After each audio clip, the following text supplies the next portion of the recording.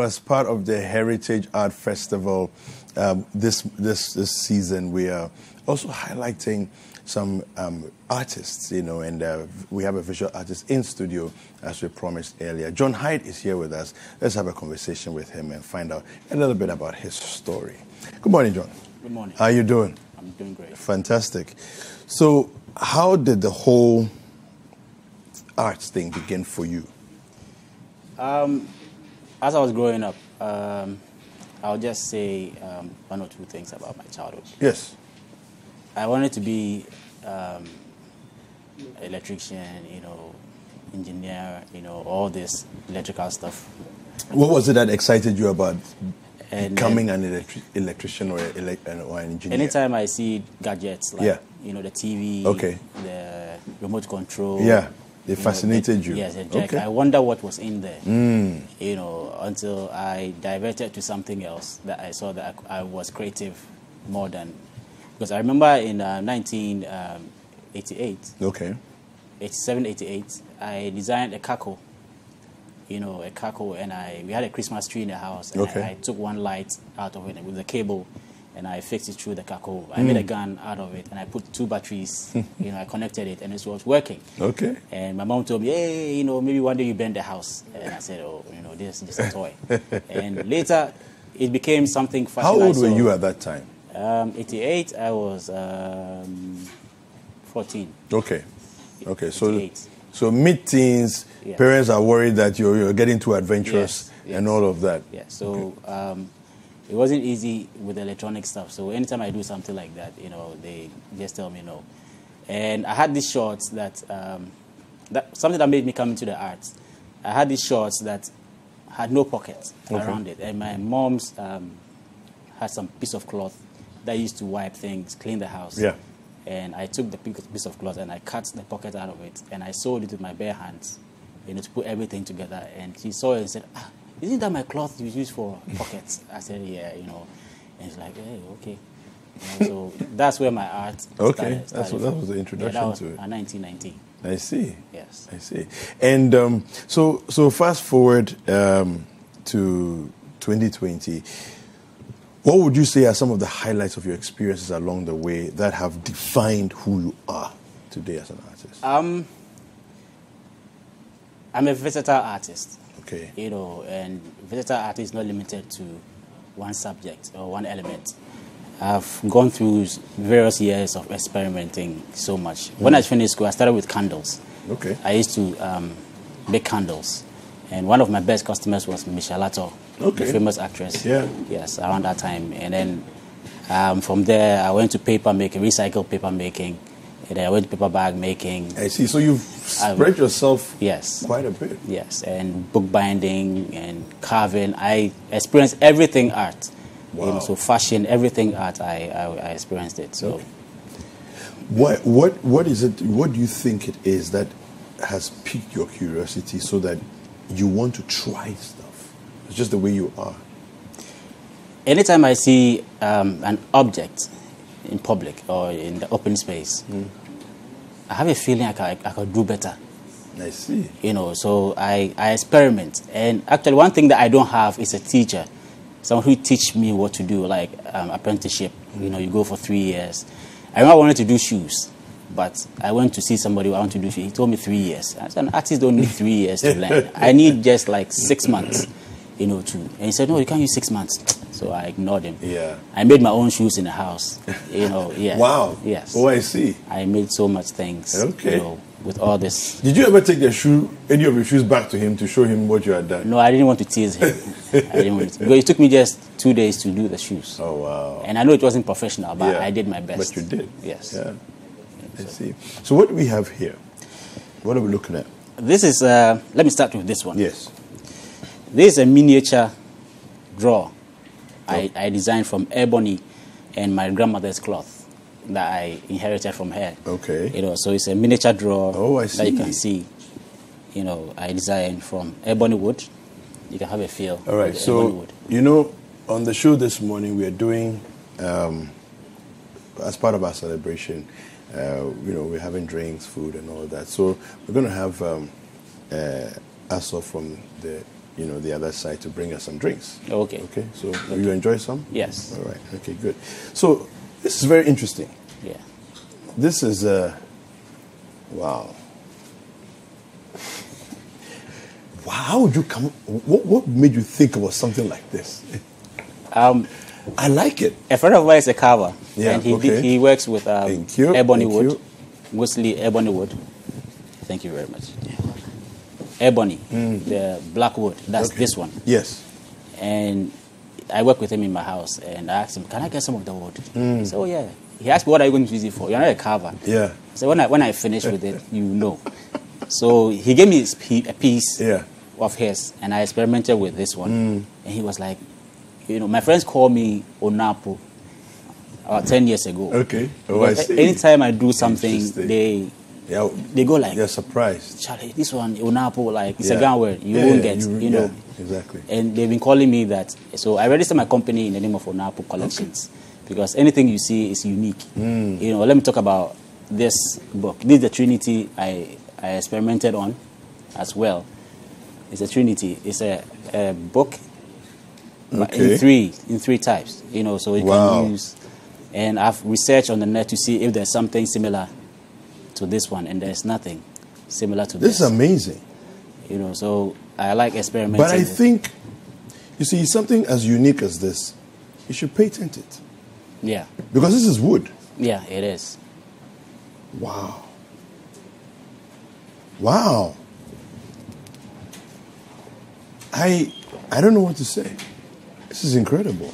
This is wood, Yeah, and you've used fabric, fabric, yes, and it's you call it the Trinity. the Trinity. Wow. Hmm. And I've had it for eight years. Are you serious? I made it eight years ago. Yes. this was done eight years ago. yes. Oh, okay. You know, um, now I don't even know how to react. I don't even know what to say. I have so much that um, sometimes when I see it myself, I don't believe I made it. You know, when I go to my studio, I see so many things. I don't believe Onapo made it. You know, so my I, to my I think, I mean, okay, so do you have patents for any of these things? Because I Um, think you should. I'm, I'm doing a collection because it's an Apple collection. So. Yeah. I'm doing a collections of all I'm doing. The one Yeah. day I'll exhibit all of them. You know, Friends come to say, I want to buy it. I say, no. You know, one day I'll exhibit Yeah. them for the public to know what um, Wow. I'm capable of doing. Wow. You know, so this is a, a miniature artwork Okay. as well. That um, when you go to the cathedrals and the churches, Hmm.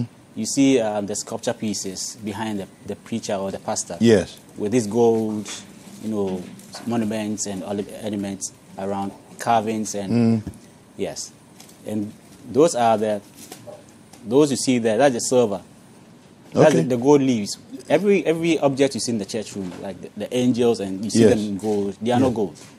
They are Okay. sculptures. Okay. With gold leaves, you know, ta- attached to them. Ah. Yes. So those are the gold leaves and the silver leaves they use to do all those decorations, Okay. the finishing touches. So I'm using them for an artwork as well. A miniature artwork. This is incredible. Yes. So something like this, what's the final presentation form? What's the objective of doing something like this? Yes. I'm preparing them to frame them. Okay. But actually, it's, it's not everybody who likes um, framed artwork. So some will go framed and some will go not framed. Hmm. I'll sell them like that. But I'm preparing them. I'm preparing like hundred pieces to Okay. exhibit them Wow. at a go, and they are not repeated. They are all different, and all hand painted. Yeah, because it's interesting. So even though they look alike, they're actually quite different. yes, In the sense that okay, so this one, for example, we can see the mouth, the lips Yeah. here, but there's not there's none here. Yes. Okay, so let me do something here. Let's take a look at it. Ah, there we go. Okay, so this one has a different Yes. hairstyle. Yes. okay, this is very interesting. So, okay, so this these two here, you can see them, the lips on both, Yeah. but this the hairstyle is different from this one. Yeah, and the and the beads, Yeah, the jewelry set. the is jewelry is also different. different. Yes. So you're right; they don't repeat themselves. They don't repeat themselves. All of them. Fascinating. And when I'm painting, I don't look at the next one. I just paint. I put them away and paint new. I put them away and paint new. Are you serious? Yes. But how do you know that you have not repeated yourself? You know, that, that's as an artist, you, sh- you shouldn't be. Actually, what, I'm what we're taught in school is Completely befuddled. I when can't you believe are what a- I'm seeing. Yeah, when you're a painter, you need to be painting. Mm. You shouldn't think far. Like you shouldn't think ahead of you. Yeah. But for me, when I was in school, I have an artwork in the art center. Right now, we are doing an exhibition at the art center, Mm. Independence Day, 19, since 1957, and it's still running. I took an artwork there that I made 1998. Yeah, 98. 1998. 1998. You took an art Yeah. art piece there, and it's Yeah. still it's still Yeah, on kept it, exhibition. yes, and that's the first time I brought it to the public, and it's titled "We Agree to Disagree." You know, and see. people see it and look like, "Wow, how do you come up with all this?" I say, "I think deep hmm. when I'm working. Clearly, You know, I don't clearly just you do.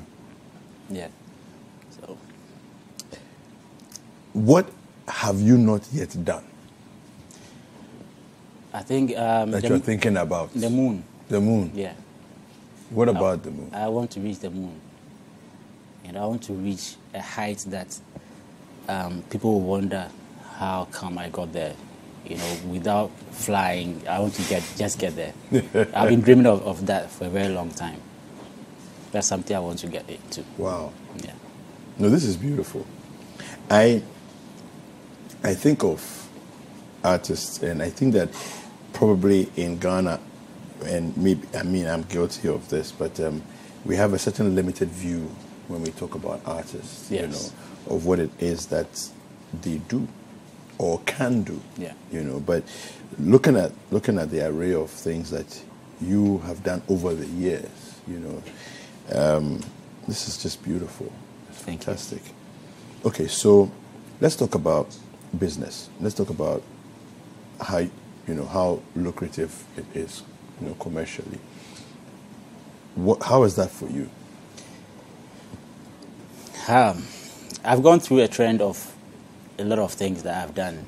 Like I said, from the candle making to, and mostly what happens, the economy changes the Yeah. way art is dealt in this country. Okay. Um, art is like it's, it's like a seasonal thing, you know, like the year of return. You know, there's some program happening somewhere, the exhibitions and all those things.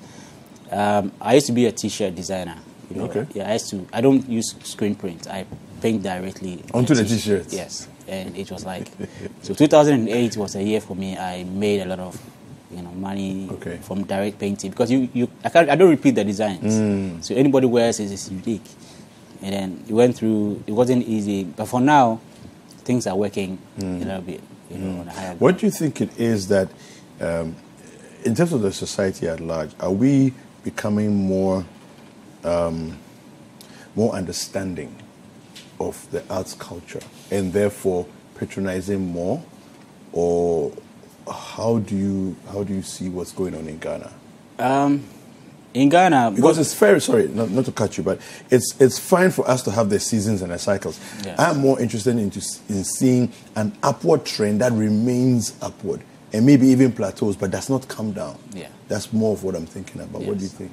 Um, let, let me give thanks to most of the hotels first in Ghana because they help the artists, you know, produce By exhibiting. produce their works and Okay.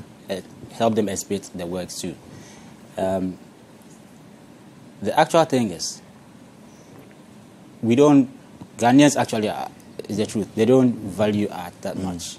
So um, I'm the chairman for an association in Greater Accra called GAVA, Ghana um, Visual Arts Association Okay, yeah. you know, and then we are trying to raise awareness Mm.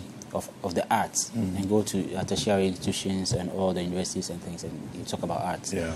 You know, so we are educating ourselves first, you know, as an artist before Yeah. we are going to go into the public. And we've done that uh, a couple of times. We've celebrated a couple of, and right now we have an artwork to create an awareness that there's, you can put art in every place. Yeah. When you go to the AMA new Yes. office right now, the reception we created well art day that was two three years ago. Okay. We created an artwork and we donated it there, and it's the first of its kind. It's called Asasa.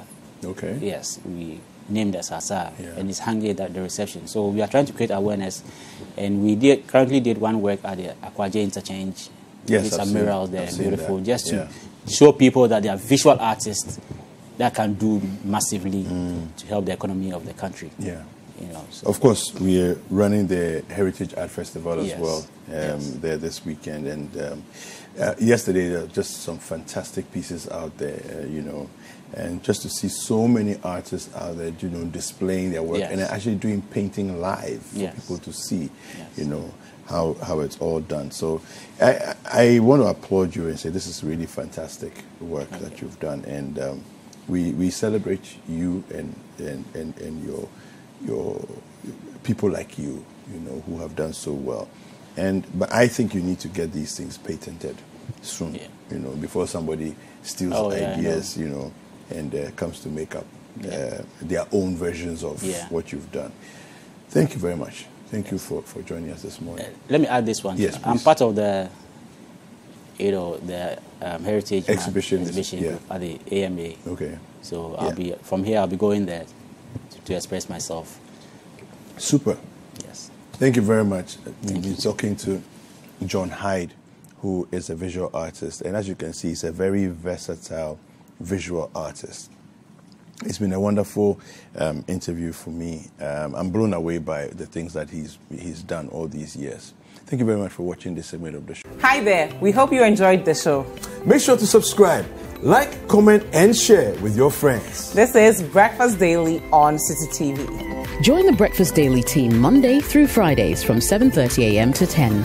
Join us for breakfast daily only on Citi TV.